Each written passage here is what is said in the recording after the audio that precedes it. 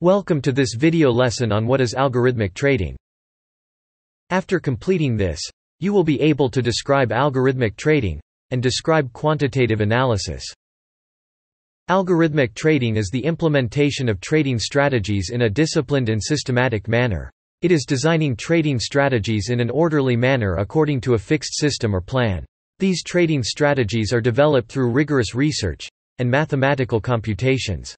Developing these trading strategies involve the application of scientific methods in selecting the securities, choosing and filtering the data, and studying the data to trade those securities.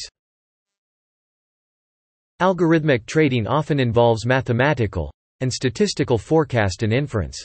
Such an analysis is called quantitative analysis. And those who perform this analysis are popularly known as quants or quant traders. Quants are required to look at many aspects of their strategy such as measurement of risk exposure while following a disciplined approach.